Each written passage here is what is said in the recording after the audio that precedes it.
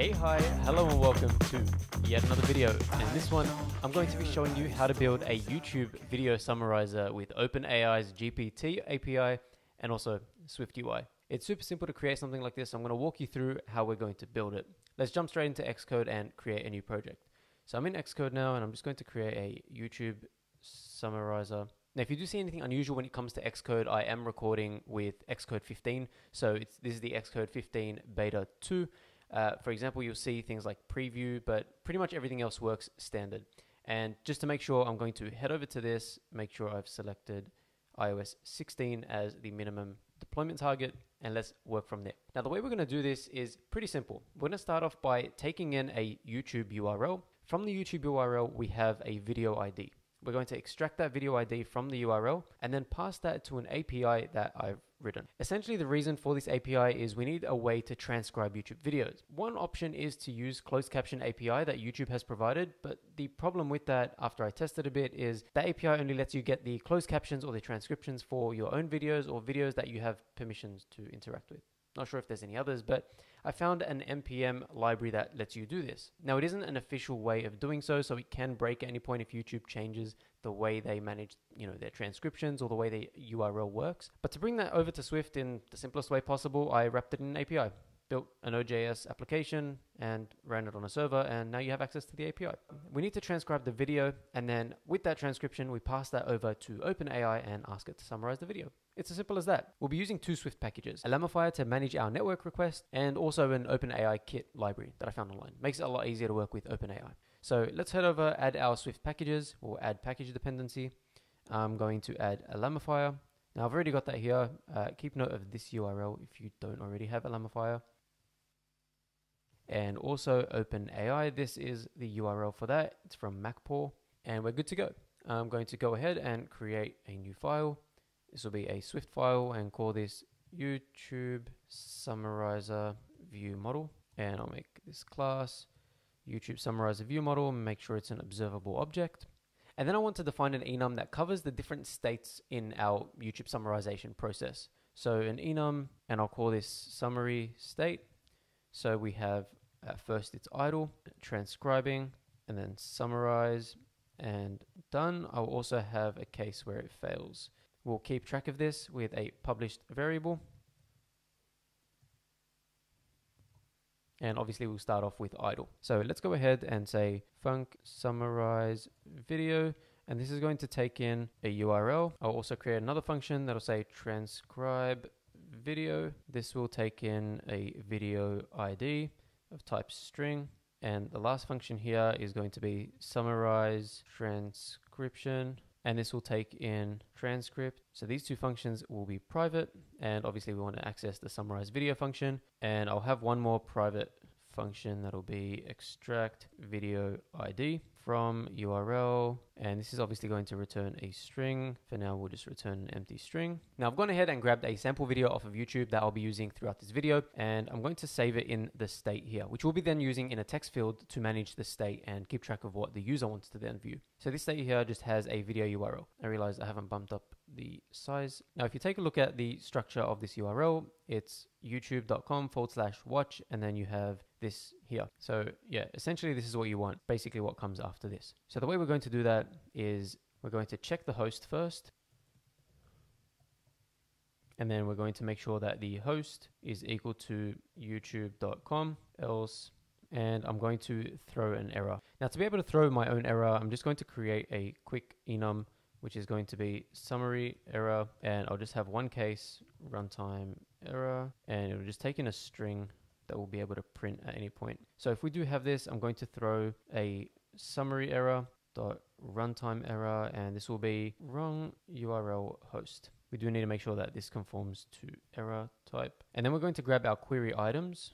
Let query items equals URL components from, and we're going to pass in our URL dot absolute string and query items. And then also in this case, we're going to throw a summary error dot runtime error no queries found. And finally, we're going to check for the v query. Let video ID equal query item dot first where and we're going to say name is equal to v dot value and in this case if that fails we're going to throw a summary error runtime error no video id found and then we'll return our video id and over here we'll say let video id equals extract video ID from and pass in the URL. Let's print this first video ID. Now, of course, because this throws, we do want to say do catch and we want to try this. And here we'll print the error if this fails. Oh, my bad. I had the try at the beginning. Try is supposed to be here. And so to be able to test this out, I need an on appear. And here I'm going to say, I need to keep track of this actually. So I need observed object and we're going to say view model is equal to YouTube summarizer view model and on appear we're going to say view model dot summarize video and pass in a URL string video URL and I'm going to force unwrap that obviously best practices guardlet but for the sake of this right now print hello world and wrong URL host let me just print url.host. Uh, so because it's got the www dot, we had an issue with that. So instead, what I'm going to say is dot contains, and I will just grab this, pop that in there, and that should work now. Let's have a look. And there's our video ID. Beautiful. So now that we're able to extract the video ID, we're going to pass that into our API. So let's start off by importing Alamofire. And the URL that I have created looks like this. Let transcription URL is equal to, and it looks something like this. Now, I will leave this in the description below for you to be able to copy and paste this a lot more easily. Uh, so that's the transcription URL. Now, to be able to make this request, we're going to need to create the response data objects. Now, what you actually get back when you send a request to this URL is a data object that has some data in it and then also the transcript. So let's go ahead and create those objects and I'll show you how to do that. So we have a struct and we're going to say transcript response and inside that it'll have a data object of type transcript text and we'll create the transcript text and we'll create the transcript text. Then inside this we have a transcript property of type string and make sure that both of these conform to the codable. There we go. Now over here, we can start calling our network request. So we're going to say let response equal af dot request and we want one of these here so we want a method parameters. So i'm going to pick this one here. I'm going to pass in my transcription url the method is post and my parameters are going to be a dictionary where i pass in video id and i'll of course pass in the video id we get in our function. It's going to be a json encoder. Then now I do need to mention also for you to be able to run this, make sure you have async throws and it returns a string. Now async tells Swift that this is an asynchronous function and we want to await the response before we return back the value. And also we're going to make it a throwing function so that we can catch any errors and make sure that we handle them correctly. And of course, we're returning back a transcript in the form of a string. Now we also need to make sure we have serializing decodable. And of course, we're going to pass in the object that we had, which was transcript response dot self. Then we can say transcript equals response dot value dot data dot transcript. And of course, because this is asynchronous, we make sure that we await. And because it throws, we're going to try as well. And then we can return our transcript. So that should be all good. And then we come back to our summarize video function. Now, because we're going to be calling an asynchronous function, we need to run this inside of a task. So we're going to create the task here, pop our code inside the task and say let transcript equal to try await transcribe video, pass in the video ID that we've extracted. And for now, we're just going to print the transcript.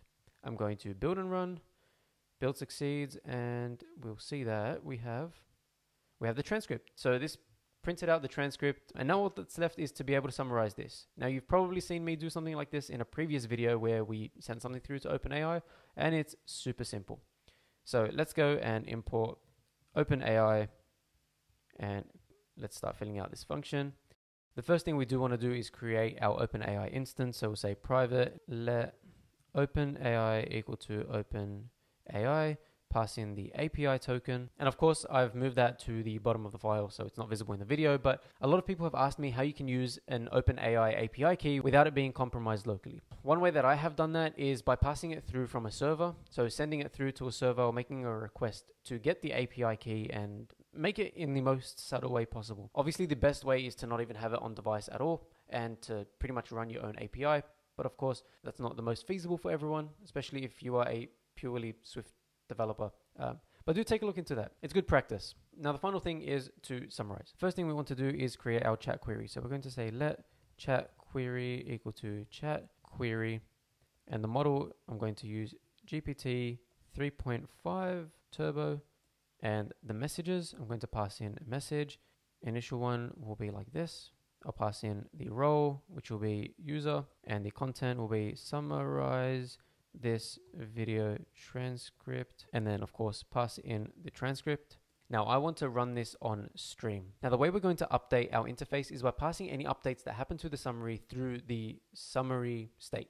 So if we go down to our summary state, in summarize, I'm going to add a string. And we're going to pass in any updated string through this summary state. So I'm going to create a do catch statement and inside this, I'm going to clear this out. I'm going to here just print my error. Inside this, we're going to say for try await result in OpenAI dot chat stream passing in the chat query. And this is going to give us the stream of results. So every result that we get, we're going to then check if we are currently in the summarizing state. Now to get into that state, I'm going to first have to update with an empty string. So we'll say await main actor dot run, and we'll say state is equal to summarize and pass in an empty string. Then over here, we're going to check if we are in the summary state. So if case let dot summarizing summarize content equal to state.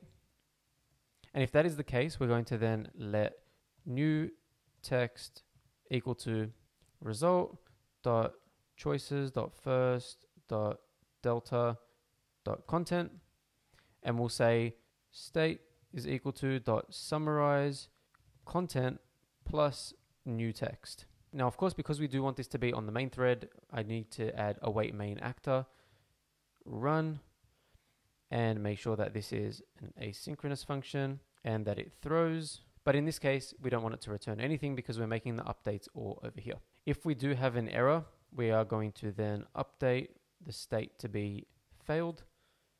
And I'll grab this. I'll also put it somewhere like this. And then over here, because we don't actually want to assign the summary to any particular variable, we're just going to be able to say await, summarize transcription, and pass it in the transcript. I need to make sure I say try await. If you do want to keep track of that, you can say print content plus new text just to make sure that the summary is running. So if you want to build and run, and wait for that, there we go. So we can see a whole bunch of text being printed out. Just going to stop that. And let's go over to our content view. Now building this is going to be super simple. I'm going to have a text field for me to add the URL for the video I want to summarize and then a place for me to display what the current state is. So essentially I'm going to have a VStack. In the VStack I'm going to have an HStack and that'll have a text field and this will bind to video URL and the title is going to be YouTube video URL and on the side of that, I'll have a button. And the label for this is going to be summarize. And the button is going to basically perform this. And underneath that, I'll have a scroll view. Inside the scroll view, we'll say if case let dot summarize summary is equal to view model dot state then we'll have a text object that has the summary in it. Else, I'm going to have text where I'll then have a switch of view model dot summary uh, state summary state, and I'll have text saying enter video URL. If it's transcribing, we'll say transcribing.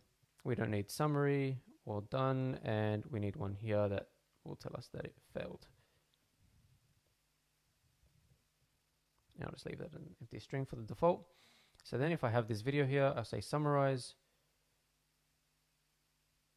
And there's your summary. Now the reason we didn't see anything change was because we actually don't change the state here at any point. So let me change the state. If I grab this and when we go into our transcribe video, if I actually change this to say transcribe and then jump back to my content view and wait for the video to pop up, let the preview pop up.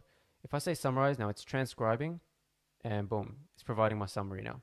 And this is pretty much how you can build a YouTube video summarizer. It's super simple and honestly, it's super cool, works great. And if you put a nice UI on this, you can throw this on the App Store and who knows, you probably get a lot of people using it. Now, of course, if there is any content you want to see in particular, feel free to leave a comment in the comment section below. I hope you enjoyed this video as much as I did, and I will catch you in the next one. Peace.